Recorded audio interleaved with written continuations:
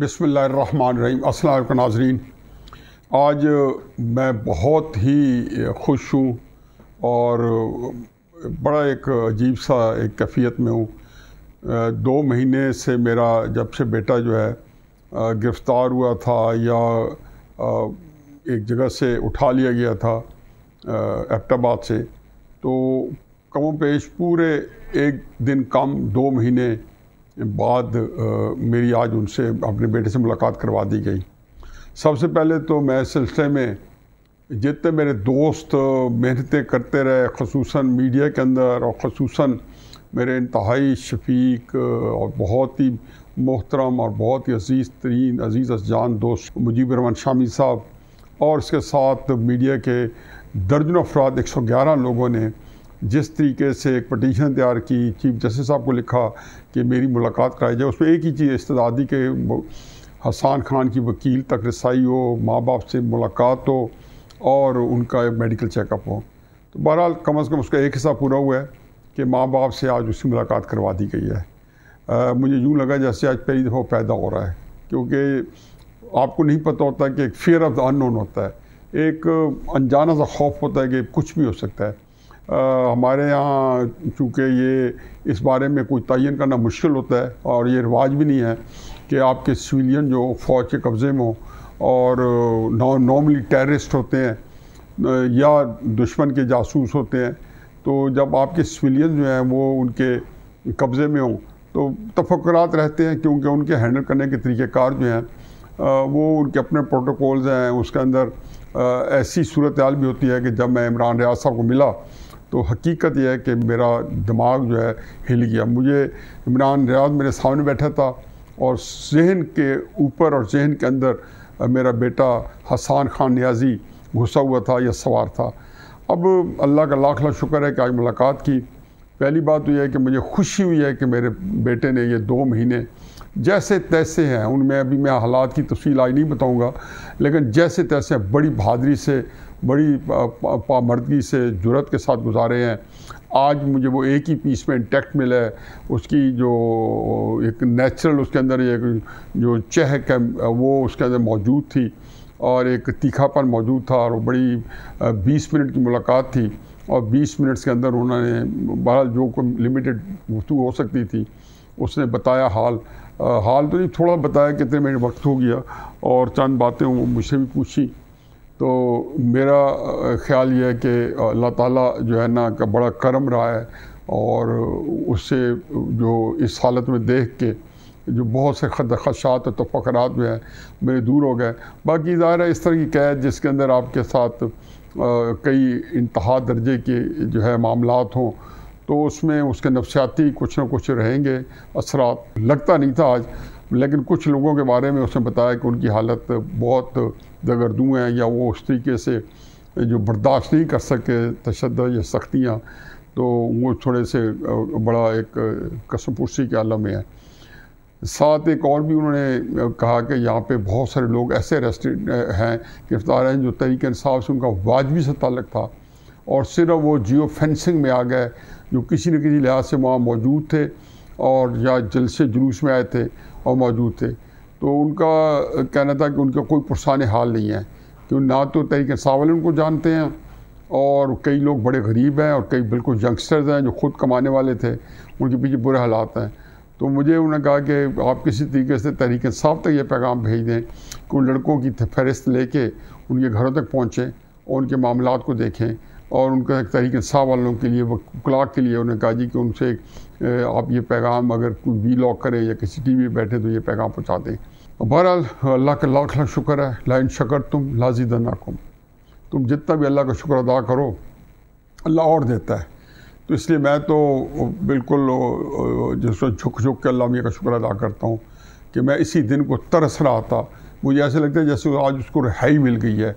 हालाँकि अभी तो उसका केस शुरू नहीं हुआ पत्नी मिलिट्री कोर्ट्स में चलेगा तो किस तरह चलेगा? बेशुमार बातें जो से की हैं, मुनासिब नहीं है, अभी मैं उनको दोहराऊँ। और न उसके हक़ में अच्छा है, न मेरे हक़ में अच्छा है। लेकिन मैं ये समझता हूँ कि बहुत सारे दोस्तों ने इस तरीके से तन मन धन लगा के खुशबू मीडिया के लोगों ने, बहुत सारे लॉयर्स कमेटी में से, बहुत सारे लोगों ने जो इस तरीके से मुझे सहारा दिया, मेरे साथ खड़े हुए, मैं उनका इंतहाई शुक्रगुजार हूँ।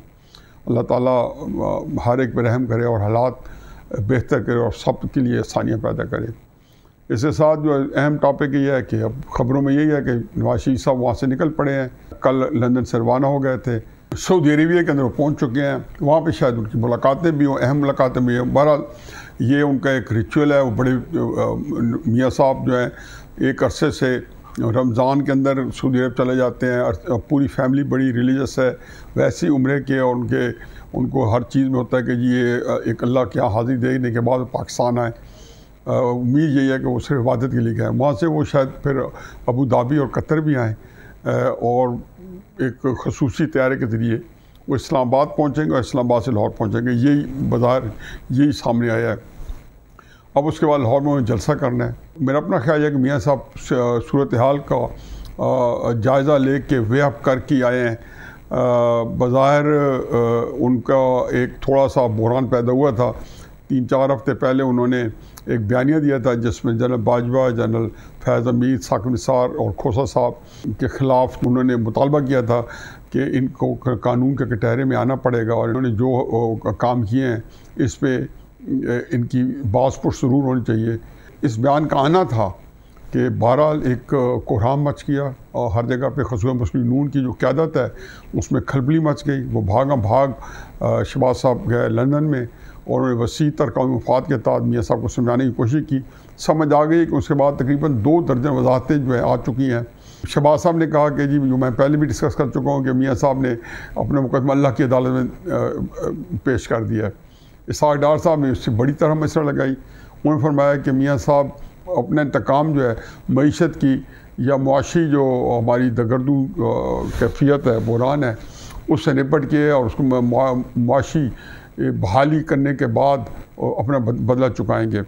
अब मुझे ज़रा थोड़ा सा ये हैरत हुई है कि ये मियाँ साहब आ रहे हैं तो मुझे, मैं कन्विंस्ड हूँ और मैंने ये बात जो है तीन, चार दिन पहले जब, तीन दिन पहले जब वज़ी अजम साहब के हम डिनर पे गए थे तो वहाँ पे भी बात हुई। तो मैंने उन्हें यही कहा कि मुझे लगता ही है कि आप इलेक्शन नहीं करा पाएँगे। चूँकि मेरा दस ग्यारह अगस्त को जब से हुकूमत जो है, उसकी, उसने असम्बली तहलील कर दी शहबाज शरीफ साहब ने। तो उसे तीन महीने के अंदर इलेक्शन होने थे। बाज़ाहिर उसके अंदर कोई रुकावट नहीं थी। मतलूबा नतज भी हासिल किए जा सकते थे, लेकिन नहीं कराए गए तो ज़ाहिर है जिस वजह से नहीं कराए गए होंगे। मेरा ख्याल है कि वो वजह जो है, वो जनवरी फरवरी में भी मौजूद होगी। और अगर उस वक्त इलेक्शन ना कराए गए तो ये जो एक थोड़ा सा एक आइन का एक सहारा है कि आइन के अंदर है कि जी हल्का बंदियाँ नहीं हल्का बंदियों के बाद इलेक्शन कराए जाएँगे, वो भी ख़त्म हो जाएगा और सीधा सीधा आइन साखित हो जाएगा। लेकिन मुझे इससे कहा नहीं, मुझे सिर्फ़ इससे ये बात करनी है कि मियाँ साहब आ रहे हैं, मुझे खदशा ये है कि फरवरी में इलेक्शन नहीं होंगे। अगर फरवरी में इलेक्शन ना हुए तो मियाँ साहब फिर क्या करेंगे? इस बयानी में जिसमें उन्होंने मीशत बहाल करनी है और फिर फ़र्ज़ के इलेक्शन हो भी जाए। तो मीशत तो मेरा नहीं ख्याल कि कोई अक्ल वाला आदमी इस मीशत को ना इमरान खान, ना जनरल आसिम मुनीर, ना मियाँ नवाज़ कोई भी नहीं हल बहाल कर सकता। अगर होती है इस मीशत को बहाल करने वाली होती है और ये जो सूरत से दो चार है तो ये तो सोलह महीने शबाज साहब भी बार बार ये कह रहे हैं, साहब साहब ये कह रहे हैं कि हमने ये मीशत इसलिए ख़राब सूरत हाल है कि हमने मुल्क को डिफ़ॉल्ट से बचाया तो इसका मतलब है कि एक दफ़ा फिर अगर बचाना पड़ गया डिफ़ॉल्ट से तो फिर आप क्या करेंगे? और ऐसी सूरत हाल में जब सियासी अदम इसकाम हो तो मैंने कभी कुर्ब जवार में कहीं ना तारीख़ में, ना किसी और जगह देखा है कि जहाँ सियासी अदम इसकाम हो मुआशी जो खुशहाली आ सकती है, बल्कि शायद मुआशी बदहाली रहती है। तो अगर इलेक्शन नहीं होते तो मियाँ साहब क्या करेंगे?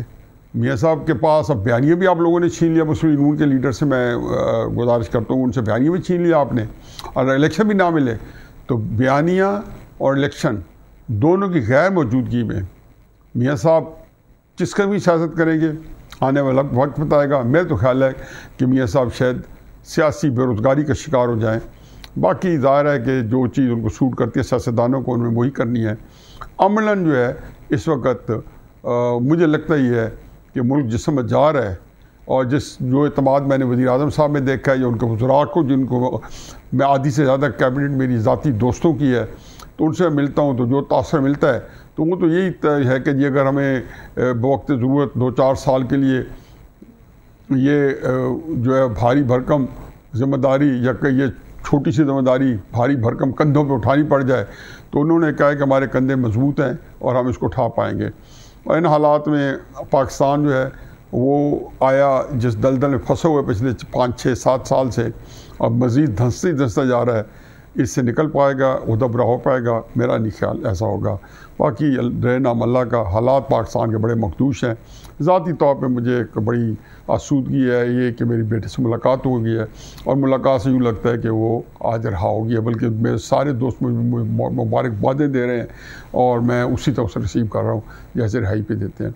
अल्लाह करे कि अल्लाह ताला हर बंदे की आसानियाँ करे और मियाँ नवाशी साहब की जो सियासत है, उसको जो है कोई कामयाबी मिले और ये तभी होगा कि जब कोई इलेक्शन हो गए और फिर हुकूमत बन गई तो फिर एटलीस्ट ये कह कि उनको करने का काम मिल जाएगा। इमरान खान साहब की गैर मौजूदगी में यकीन हुकूमत उन्होंने बनानी है और अगर हुकूमत बनाने का मौका दिया गया तो अमाल ब्लॉक।